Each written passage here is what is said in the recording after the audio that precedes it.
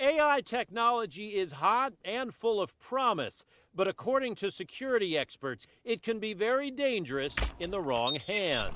These technologies are of a level and of an importance, both in terms of the opportunity they present and the dangers that they present, of something like we've never seen. And at a summit hosted by the FBI and the Hoover Institute, experts say the biggest current security threat comes from China. And there is no greater threat to innovation than the Chinese government.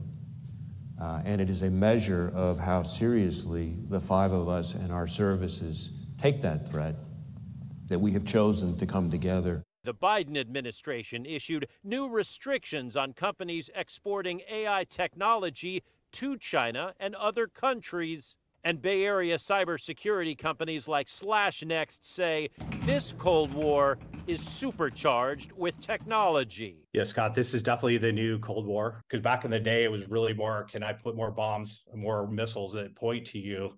Whereas in this case, it's truly digital, it's anywhere the information is. And then there's also the spy uh, component with it.